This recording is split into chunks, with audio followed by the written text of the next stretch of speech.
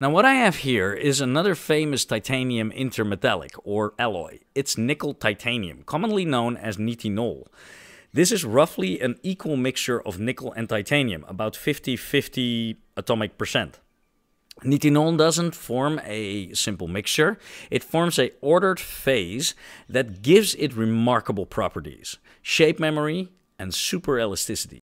Now, this almost seems like magic. Shape memory effect means that you can deform an object made of nitinol, bend and twist it, and as long as it is below a certain temperature, it stays that way. But heat it up above its transformation temperature, and it will spring back its to its original shape, as if by magic. Super elasticity means that at warmer temperatures you can bend it a lot and it will snap back immediately upon release, like an extremely rubbery metal, as long as you don't exceed a certain strength.